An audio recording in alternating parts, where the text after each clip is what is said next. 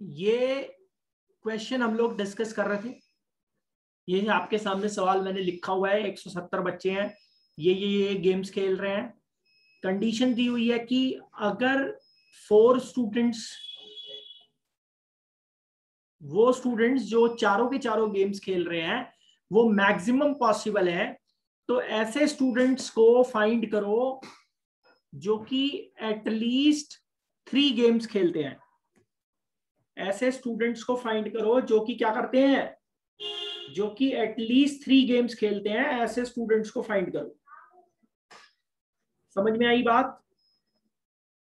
समझ में आया? ऐसे स्टूडेंट्स को फाइंड yes, करो sir. जो कि थ्री गेम्स खेलते हैं। एटलीस्ट थ्री एटलीस्ट थ्री का मतलब क्या? क्या होता है? पहले तो ये बताओ। क्या होता है? एटलीस्ट थ्री का मतलब है कम, कम से कम थ्री यानी कि exactly three plus exactly four वाले। मतलब वो बच्चे भी आ जाएँगे जो तीन गेम्स खेल रहे हैं वो बच्चे भी आ जाएँगे जो चार गेम्स खेल रहे हैं। तो हमने यहाँ पर कंडीशन अपनी क्रिएट की कि A plus B plus C plus D मतलब एग्जैक्टली वन वाले।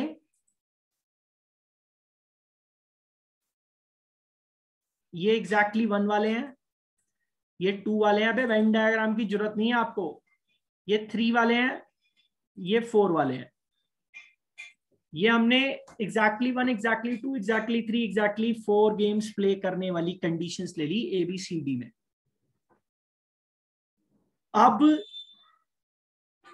एग्जैक्टली exactly वन से लेके एग्जैक्टली फोर तक ऐड करता हूँ तो मुझे एटलीस्ट वन मिलेगा, और एटलीस्ट वन कितना दिया है? 170 क्योंकि यही मेरे यूनियन की वैल्यू भी है। यही हमारे यूनियन की वैल्यू भी है। ठीक है ना? अब अब जब मैं इन चारों को जोड़ता हूँ और अपना टोटल निकालता हूँ 220 तो ये तो n of A plus n of B plus n of C plus n of D ऐसे ऐड हो रहा है ना?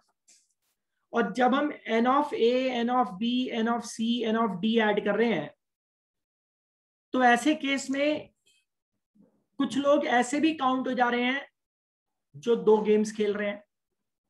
कुछ लोग ऐसे भी काउंट हो रहे हैं जो तीन गेम्स खेल रहे हैं। कुछ लोग ऐसे भी काउंट हो रहे हैं जो चार गेम्स खेल रहे हैं। और हालाँकि वन वाले भी आ रहे हैं इसमें, लेकिन जो लोग दो गेम्स खेल रहे हैं वो दो बार काउंट हो रहे होंगे। जो लोग तीन गेम्स खेल रहे हैं वो तीन बार काउंट हो रहे होंगे। जो लोग चार गेम्स खेल रहे हैं वो चार बार काउंट हो रहे होंगे। अबे, तभी तो हम लोग बाद में इंटरसेक्शन माइनस करते हैं, फिर इंटरसेक्शन प्लस करते हैं। याद आ रहा है? A union B union C का फॉर्मूला याद नहीं है क्या? N of A plus n of B plus n of C पहले तीनों को जोड़ लिया। एक्स्ट्रा लोग भी आने लग गए। इस वजह से आप उसमें से इंटरसेक्शन माइनस करते हैं दो दो के इंटरसेक्शन फिर वो जब माइनस करते हैं तो वो तीन वाला पार्ट पूरी तरीके से साफ़ हो जाता है। उसको इंक्लूड करने के लिए आप फिर तीनों का इंटरसेक्शन प्लस करते हैं। तो ये इंक्लूजन एक्सक्लूजन का कॉन्सेप्ट है। जो कि आपका यहाँ पर काम कर रहा है। फ़िलहाल आपको वहाँ जाने की ज़रूरत नहीं, अगर उस पॉइंट ऑफ़ व्यू से चलोगे तो फिर आप कभी इसको सॉल्व कर नहीं पाओगे। फंस जाओगे सर। तो इसलिए हम यहाँ से आ रहे हैं। अब ऐसे केस में चार वाला आपकी बुक में तो है नहीं आरडी वारडी में मुझे लगता नहीं, दे रखा होगा। तो यहाँ से हमने कहा कि एग्जैक्टली exactly वन वाले एक बार काउंट होंगे एग्जैक्टली टू वाले दो बार काउंट होंगे एग्जैक्टली थ्री वाले तीन बार काउंट होंगे एग्जैक्टली फोर वाले चार बार काउंट होंगे। तो इनका टोटल कितना होना चाहिए? 220 होना चाहिए। अरे भाई, ये 170 वाला सामान दिखने में 220 क्यों है? क्योंकि कुछ ऐसे होंगे जो दो बार या तीन बार या चार बार काउंट हो रहे होंगे, उन्हीं की वजह से तो एक्स्ट्रा काउंटिंग हो रही है। अब समझ में आया? अब समझ में आया या अभी भी नहीं आया समझ में? अब समझ में आया या अभी भी नहीं आया समझ में? तो अगर सर ये समझ में आ गया yes, आ गया। हाँ आ, आ गया सर आ गया सर। अब सर अगर ये समझ में आ गया तो फिर हम इसको खत्म कर लें समझ लें इसको फटाफट।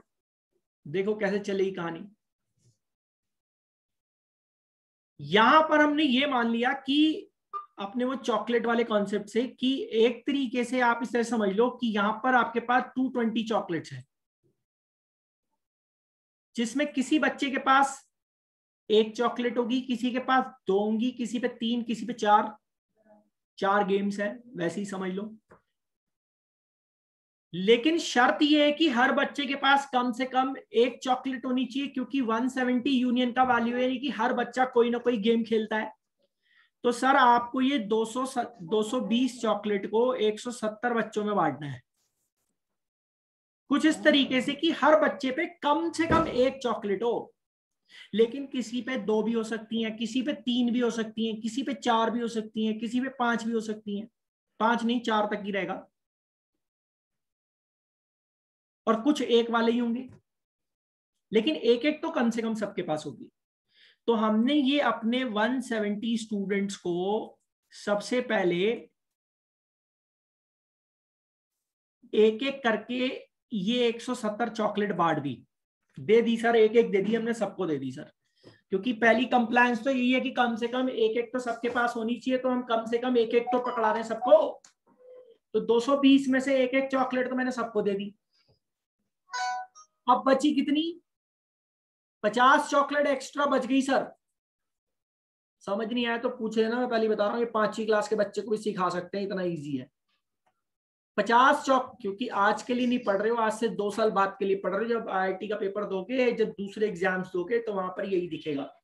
तो पचास चॉकलेट एक्स्ट्रा है और ये जो पचास चॉकलेट एक्स्ट्रा है, ये मेरे को बांटनी है। और इन्हीं की वजह से एक्स्ट्रा काउंटिंग होगी, क्योंकि अब ये फिफ्टी चॉकलेट्स में से अगर एक चॉकलेट भी मैं किसी और बच्चे को देता हूँ तो वो एक वाला नहीं रहेगा, या तो वो दो वाला हो जाएगा, या तीन वाला, या चार वाला।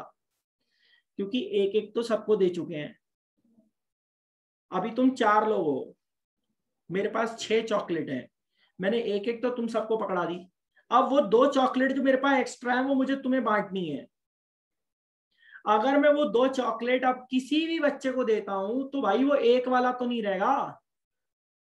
उसके पास तो एक से ज़्यादा चॉकलेट हो जाएँगी ना।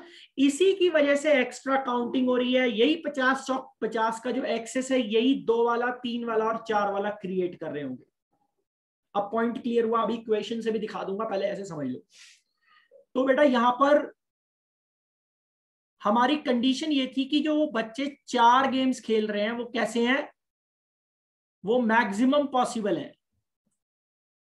वो स्टूडेंट्स मैक्सिमम पॉसिबल है अगर जो बच्चे चार गेम्स खेल रहे हैं। अगर वो मैक्सिमम पॉसिबल है तो कम से कम तीन गेम्स खेलने वाले स्टूडेंट्स कितने होंगे? अब ये क्वेश्चन इतना इजी नहीं है तो तुम्हें लग रहा है। तुम अपने मास्टर से पूछ लेना, पढ़ाना छोड़ दे, भाग जाएगा। अब सुनो कहानी। यहाँ पर हमें चार गेम्स खेलने वाले बच्चों को मैक्सिमाइज करना है। यानी कि ऐसे बच्चे जिनके पास चार चॉकलेट्स हैं, उनको ज़्यादा से ज़्यादा करना है। अब एक एक तो मैं सबको दे ही चुका हूँ। तो अब या तो मैं किसी बच्चे को एक चॉकलेट दे सकता हूँ और, या दो दे सकता हूँ, या तीन दे सकता हूँ। तीन से ज़्यादा और नहीं दे सकता, क्योंकि एक एक तो पहले दे दिया, अगर तीन से ज़्यादा और दूँगा तो उसके बाद पाँच हो जाएँगी और पाँच की यहाँ पे रेस्ट्रिक्शन है, पाँच तो हो ही नहीं सकती किसी के पास। क्योंकि मैक्सिमम टू मैक्सिमम चार सेट है तो ज़्यादा से ज़्यादा कोई बच्चा चार जगह आ सकता है, चार चॉकलेट रख सकता है, ऐसे समझ लो। अब मुझे उन बच्चों को मैक्सिमाइज करना था जिनपे चार चॉकलेट है।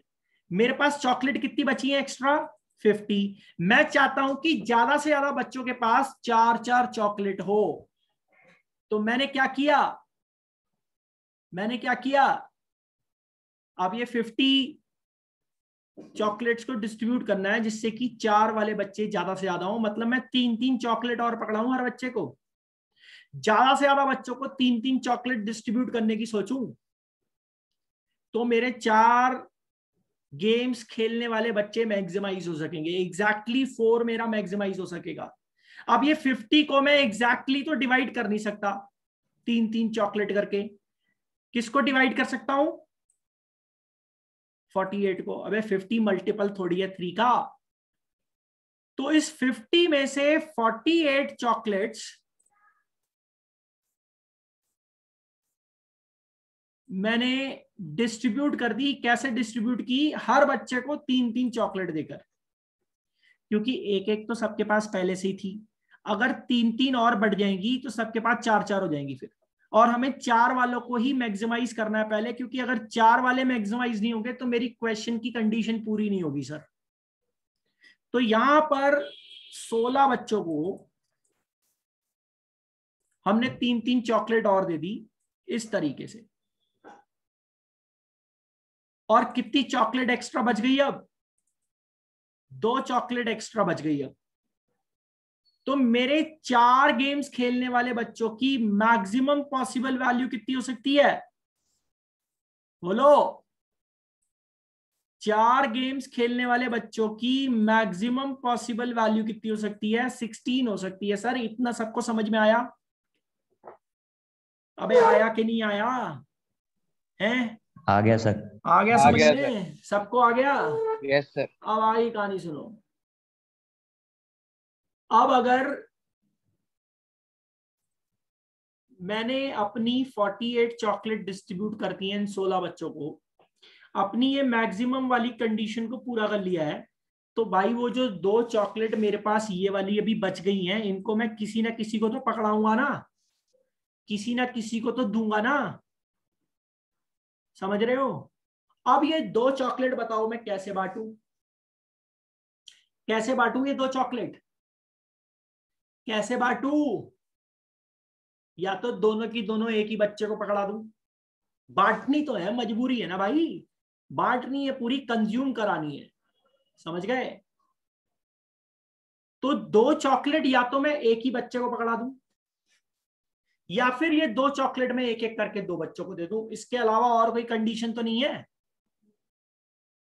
तो अगर मैंने ये दोनों दोनों की दोनों चॉकलेट एक ही बच्चे को दे दी। तो यानी कि अब जिसको भी मैं ये दो चॉकलेट दूँगा, वो तीन वाला हो जाएगा, क्योंकि एक एक तो पहले ही दे रखी है मैंने। समझ में आया? समझ में आया? तो एग्जैक्टली exactly थ्री वाले क्या क्या हो सकते हैं? देखो एग्जैक्टली exactly थ्री वाले या तो एक बच्चा हो सकता है। समझ के में आया कि दोनों की दोनों जो एक्स्ट्रा चॉकलेट मेरी लास्ट में बची थी, वो मैंने एक ही को पकड़ा दी। तो एक बच्चा हो गया जिसपे तीन चॉकलेट है। अगर ये दो चॉकलेट मैं ऐसे बांटू कि मैं एक एक करके दे देता हूँ। कैसे दे देता हूँ? कैसे दे देता हूँ? एक एक करके दे देता हूँ। तो क्या कोई बच्चा वहाँ पे होगा जिसपे तीन चॉकलेट आ रही हैं? सवाल ही नहीं उठता सर। समझ में आया? कोई बच्चा Yes, नहीं होगा वहाँ। कोई होगा ही नहीं सर। कोई भी नहीं होगा वहाँ पे। कोई बच्चा नहीं होगा वहाँ पे। क्योंकि अगर एक एक मैंने पहले से ही बांट रखी थी, अब ये जो दो चॉकलेट मेरी लास्ट में बच गई हैं, अगर मैं एक एक करके पकड़ाता हूँ दो बच्चों को तो अब वो दो बच्चे दो दो वाले बनेंगे दो दो वाले। तीन वाला नहीं बनेगा। तो इसका मतलब एग्जैक्टली exactly थ्री या तो एक बच्चा हो सकता है, या फिर कोई भी नहीं हो सकता। तो आपको अच्छे से मालूम है कि एग्जैक्टली exactly थ्री और एग्जैक्टली exactly फोर को जोड़ेंगे तो सर हमें एटलीस्ट क्या मिलेगा हमें? तो हमें एटलीस्ट थ्री वाला मिलेगा। ठीक है? तो यहाँ पर देखो एटलीस्ट थ्री वालों की वैल्यू क्या हो सकती है? सिक्सटीन प्लस वन सेवनटीन हो सकती है। अब सोलह बच्चे हैं एग्जैक्टली exactly फोर वाले देखो उधर निकाले हैं। या फिर क्या हो सकती है? या फिर क्या हो सकता है? बोलो। सिक्सटीन प्लस ज़ीरो यानी कि सिक्सटीन हो सकता है। तो इसीलिए मैंने यहाँ पर दो आंसर यहाँ पर नीचे लिखे हुए हैं। ये देखो, इसीलिए यहाँ पे दो आंसर लिखे हुए हैं। एक सिक्सटीन लिखा है और एक सेवनटीन लिखा है। अब समझ में आया? अब समझ में आया? अभी भी नहीं आया समझ में? है? आ गया सर अब आ गया समझ में? अबे हलवा नहीं है ये। अब तुम कहोगे सर ये चॉकलेट फॉकलेट हमको समझ नहीं आती हमें तो इक्वेशन से ही समझ में आएगा। हमें तो वैसे ही घुसेगा दिमाग में हमारे। हमारे दिमाग में तो वैसे ही घुसेगा। ऐसे नहीं जाएगा सर हमारे दिमाग में। तो लो फिर इक्वेशन से आ जाओ। स्क्रीनशॉट ले लो भाई इसका। ज़्यादा मेहनत क्यों करनी है हमने है ना? हो गया ना? अरे हुआ कि नहीं हुआ? ले लो जल्दी स्क्रीनशॉट लो। अब सर।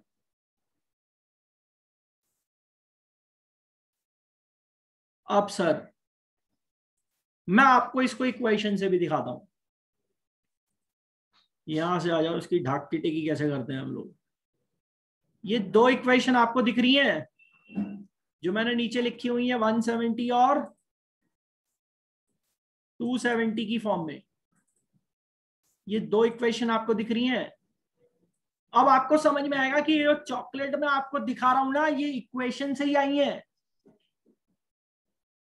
मैं इन दोनों को सब्सट्रैक्ट करता हूँ, मेरे को क्या मिलेगा? B plus B plus two C plus three D is equal to fifty. तो यहीं से ही समझ लो। क्या समझ लो यहीं से? यहीं से ही समझ लो कि जो पचास चॉकलेट एक्स्ट्रा है ना, जो पचास चॉकलेट एक्स्ट्रा है, उसमें एक चॉकलेट एक्स्ट्रा क्रिएट कर रहा होगा एग्जैक्टली exactly टू वाला। देखो बी जो था वो एग्जैक्टली exactly टू वाला है। दो चॉकलेट एक्स्ट्रा क्रिएट कर रहा होगा एग्जैक्टली थ्री वाला। और तीन चॉकलेट एक्स्ट्रा क्रिएट कर रहा होगा कौन? एग्जैक्टली फोर वाला। अब समझ में आया? अब, यही तो कह रही है ये इक्वेशन इक्वेशन बोलती है, समझने की कोशिश तो करो। नहीं बनी बात। अभी भी नहीं बनी। अब मैं ये चाहता हूँ, अब मैं ये चाहता हूँ कि मेरी ये डी की वैल्यू क्या हो? मेरे ये डी की वैल्यू क्या हो? मैक्सिमाइज हो मैक्सिमाइज तो जरा बताओ, यहाँ पे देख के डी का मैक्सिमम वैल्यू कितना हो सकता है? बोलो ना। डी का मैक्सिमम वैल्यू कब मिलेगा? जब बी और सी मिनिमम है, यानी कि थ्री इंटू सिक्सटीन ऐसा कर सकता हूँ। और तो कुछ नहीं कर सकता मैं। अरे, अगर 16 से बड़ी वैल्यू से मल्टीप्लाई कर दूँगा 17 से तो भाई फिर तो 51 हो जाएगा। बी और सी माइनस में चले जाएँगे। क्या नंबर ऑफ़ स्टूडेंट माइनस में जा सकते हैं? क्या नंबर ऑफ़ स्टूडेंट पॉइंट में हो सकते हैं? तो ए बी सी डी की वैल्यू होल नंबर रहेगी ना? इसीलिए सर अब इतना दिमाग कौन लगाएगा रे ये तो मैं तुम्हें दिखा चुका हूँ तो तुम फट से समझ ले रहे हो। नहीं तो तुम्हारी तो हवा खराब हो जाएगी। तो इस पॉइंट ऑफ़ व्यू से आपको क्या मिलेगा? B प्लस टू सी का वैल्यू क्योंकि d का मैक्स कितना हो सकता है? D का मैक्स कितना हो सकता है? डी का मैक्स हो सकता है सिक्सटीन ठीक है? डी का मैक्स हो सकता है सिक्सटीन तो ये जो डी का मैक्स हमने निकाला है सिक्सटीन डी का मैक्सिमम जो हमने सिक्सटीन निकाला है, कैसे निकाला है? ए बी सी डी की वैल्यू होल नंबर हो सकती है। ए बी और सी और डी माइनस में नहीं हो सकते। पॉइंट में नहीं हो सकते। इसी वजह से हम डी का मैक्सिमम टू मैक्सिमम वैल्यू क्या रख सकते हैं? सिक्सटीन रख सकते हैं। सब, अब तो समझ रहे होगे? समझ में आया? तो यहाँ से आप देखो सी का वैल्यू क्या क्या हो सकता है? तो दो सॉल्यूशन हो सकते हैं इस इक्वेशन के। ये जो इक्वेशन मैंने लिखी है B plus two C is equal to two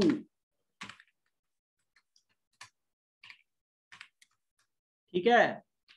ये इक्वेशन जो मैं लिख रहा हूँ, इस इक्वेशन में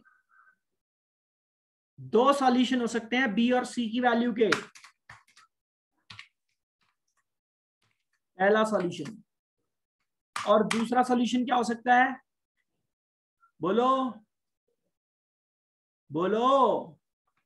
Two plus zero is equal to one two plus two into zero is equal to two. हो सकता है या नहीं? अरे अब तो हाँ ना बोल दो। यस सर हो सकता है। यार कितनी मेहनत करवा रहे हो। फ़ीस डबल कर दूँगा तुम्हारी। इतनी मेहनत तो मैंने कभी नहीं करी। किसी को नहीं समझाता मैं ऐसे। तुम मेरे पुराने स्टूडेंट हो इसलिए तुमको बता रहा हूँ। इतने एडवांस लेवल से बता रहा हूँ। तब भी तुम लोगों को अभी नहीं समझोगे तकलीफ़ होगी तो भाई। अब इसको इतना सीरियस होके अगर पढ़ लोगे तो तुम्हारा भला हो जाएगा। और इसको हल्के में लेना, मज़ाक में, अरे ऐसे पढ़ा रहा टाइम पास के लिए तो भैया फिर तुम, तुम्हारा भगवान ही मालिक है। मैं चाहता हूँ तुम्हारा भला हो जाए। अब तुम खुद नहीं चाहोगे तो फिर कुछ नहीं हो पाएगा। तो जरा यहाँ पे देख के बताओ सी का वैल्यू क्या क्या आ सकता है? क्या क्या हो सकता है सी का वैल्यू क्या क्या हो सकता है सी का वैल्यू वन हो सकता है ज़ीरो हो सकता है अब तो समझ में आया होगा। कह दो हमें समझ नहीं आ गया सर। है? आ गया सर। आ गया ना सर समझ में? सबको आ गया?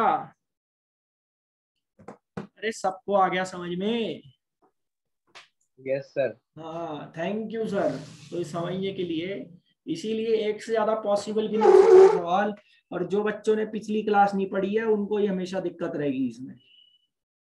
क्योंकि उन्हें चॉकलेट समझ नहीं आएगी। हालाँकि इतना सिंपल तरीका है कि किसी पांचवी क्लास के बच्चे को भी समझा सकते हैं। अगर उसे ये ना बताया जाए कि सेट क्या होता है ये सब क्या है बकवासबाजी सीधा उसको बोले ये चॉकलेट बांटनी है तो बांट देगा। ठीक है ना? So this was a very layman approach a short kind of trick. So you can uh, find out the maximum and minimum value uh, in case of तो अगर ये क्लियर हो गया हो तो फिर सर आगे बढ़ते हैं। नो टेंशन खत्म करते हैं। और अब हम नया चैप्टर शुरू करेंगे। आप क्वेश्चन सॉल्व कर दीजिएगा। मैं छोटे छोटे क्वेश्चन आपको करवाने वाला नहीं हूँ अब। भाई, किताब के कुछ सवाल तो खुद भी कर लो। सारे सवाल, सारे एग्ज़ाम्पल तो मैंने बता दिए। है ना? थोड़ा बहुत खुद भी पढ़ लिया करो यार। अब हम सर अगला चैप्टर शुरू करेंगे। रिलेशन एंड फ़ंक्शंस ठीक है? तब तक के लिए धन्यवाद। कोई दिक्कत रहेगी तो पूछ लेना।